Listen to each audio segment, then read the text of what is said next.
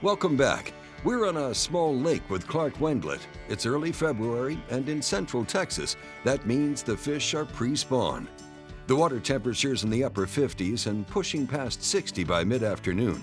We started the morning shallow, but by picking up on some subtle clues, keeping an open mind, and an eye on the Garmin, it wasn't long before Clark found fish staging up on a deep flat. You know, my recommendation is, is if, you, if you're fishing a new lake or if you're fishing your lake and just go try some different areas. That's what really makes you a better fisherman. To put yourself in situations that you haven't seen over time. That's how you can really get better as a fisherman. Oh, that's a good one.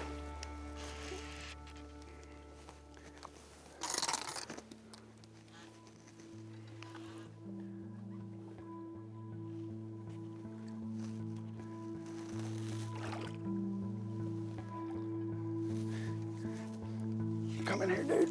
There we go. That's so awesome right there. Hey, what a day. You know, we've got out here a lake I've never fished before and, you know, pretty much had a lot of rods rigged and threw a lot of different baits and we caught them on a lot of different baits. Caught a six pounder, a bunch of nice three and a half to four pounders like this one. Super day. I love getting out and just approaching a new lake or a lake that you know pretty well, but part of it you hadn't fished before. Go try that. It's very rewarding and you can catch a lot of big fish. Thanks for joining us.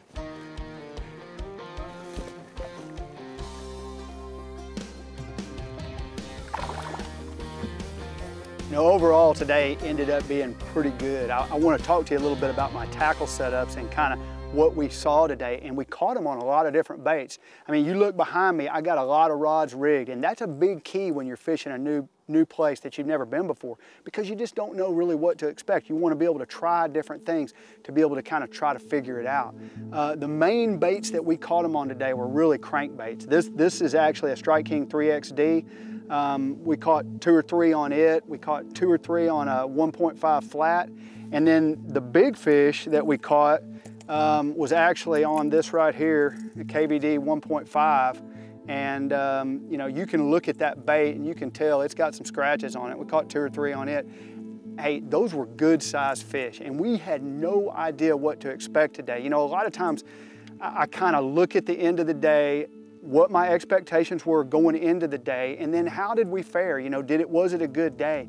And I, I love doing this. You know, I love getting on the water and trying a new lake and, and seeing what some place has to offer if I can figure out bass on that particular place. You know, hey, as far as a grade today, I'd say it was pretty good. You know, A, A minus, A, it was, it was a good day. I mean, it wasn't great. We caught a six pounder, we caught several four pounders, some three pounders. I mean, we'd have had a great tournament uh, weight. And then as far as, you know, hey, would we have had something to go back to? Well, heck yeah, we, we caught, uh, we ended up catching them on that big flat, had all those rocks on it. I think we could have gone back there tomorrow and caught a bunch more. It was a fun, fun day. I'm sure glad you joined us.